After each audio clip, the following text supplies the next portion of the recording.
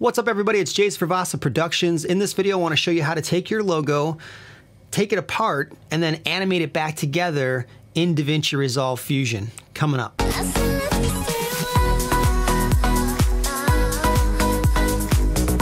right, so here we are inside of DaVinci Resolve in the Edit tab. The first thing that we need to do to start this project out is grab a Fusion composition and drag that into the timeline right here. And by default, the Fusion composition is five seconds long. We're gonna extend that a little bit for this particular project. So we're gonna go out to seven seconds. Then what we're gonna do is go down to the Fusion tab, left click on that.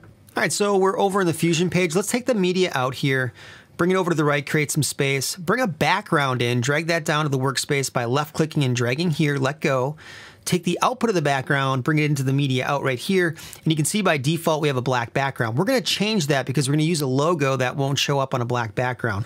Left click on color, change it to white, use whatever color is appropriate for your logo to show your logo.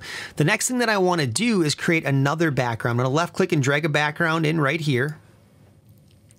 Take the output of that background and connect it to this background, which creates a merge. Now I'm gonna take this background right here left click on it and take the alpha and bring the alpha down to zero. So it's transparent. It basically just doesn't exist. The next thing that I want to do is take our logo, which is the AMD logo, drag that into the workspace, left click on its output and drag it into the current background that we have. And there we see the AMD logo. The next thing I want to do is take the merge and bring it over here by just dragging it over. And this is the AMD logo. Now right click on that AMD logo and let's name it. And we'll just call it AMD logo, right? Simple.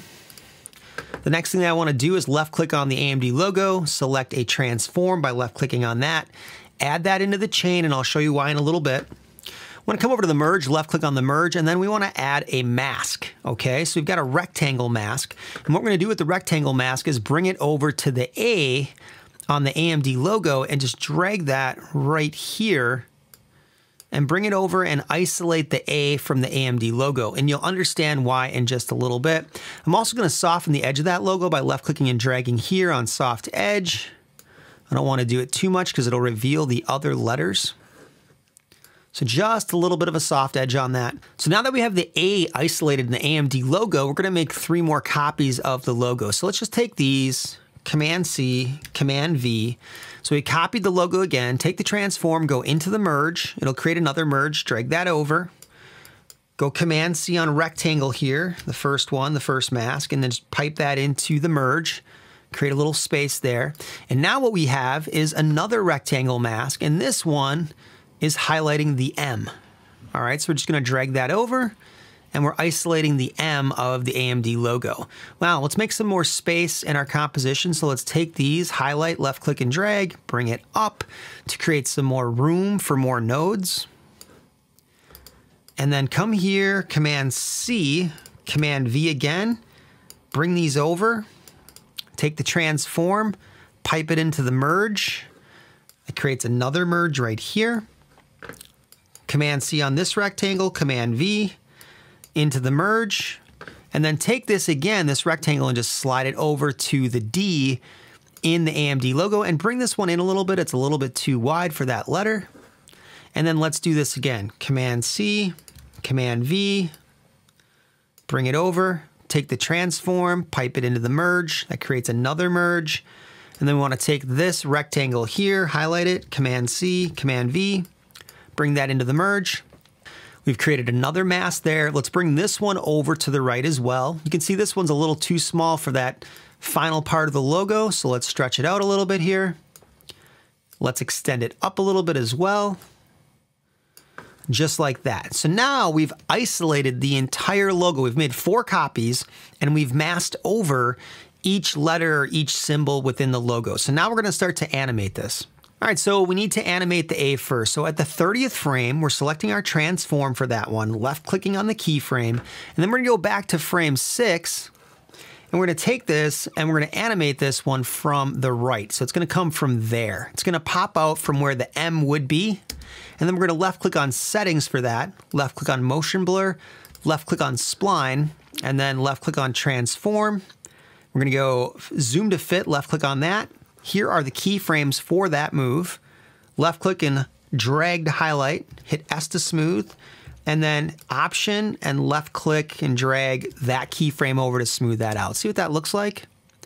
It looks good. That A pops right out. Love the look of that. All right, so the next letter that we want to do is the M, right? That's the second one. We want that to come on by frame 54. So one second after the A, let's left click on the position here, the keyframe. Let's go to frame 30 now. And then let's left click and drag the Y position down. We're gonna have this one animate from below. Left click on settings, make sure motion blur here is checked.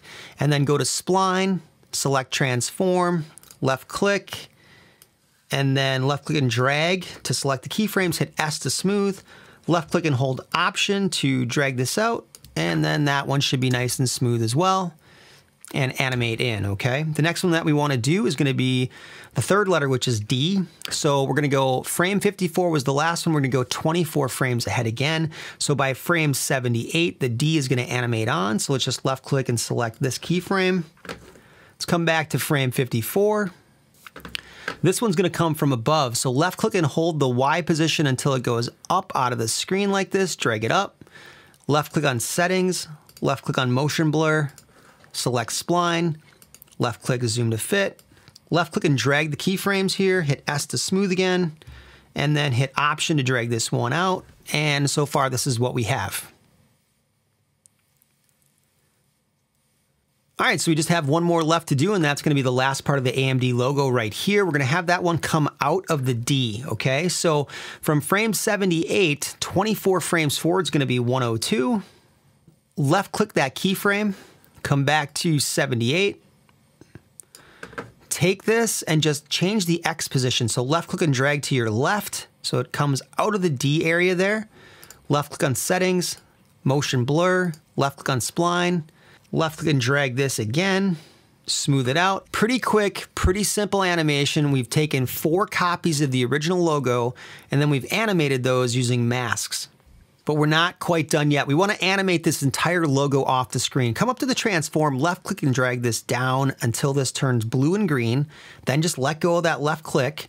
And now you've got a transform down here and that transform is going to allow you to move the entire logo wherever you want. If I want to move that here, I can move the entire thing as one again. So double left click on center to center it.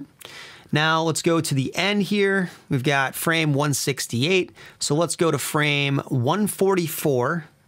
Subtract another six frames off there. That's gonna take us to 138. I'm gonna left click right here on that keyframe.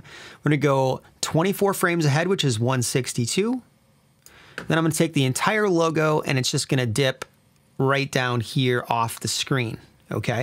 And if I want to add a little extra to that, I can also involve a mask in that. But let's left click on motion blur first, hit spline, left click here, and then left click right here, S to smooth, option again, drag it over, just like that. So currently the animation looks like this.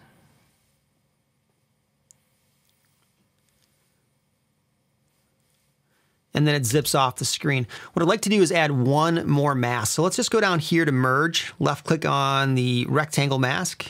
Let's add that. And let's go right here and stretch that one out a little bit. Right here, and then let's soft edge, increase that a little bit like this, and let's see what that looks like with the mask now.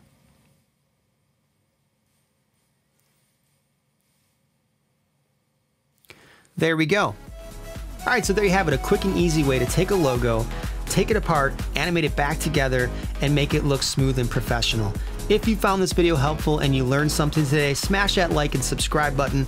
I'm Jason for Vasa Productions. We'll see you next time.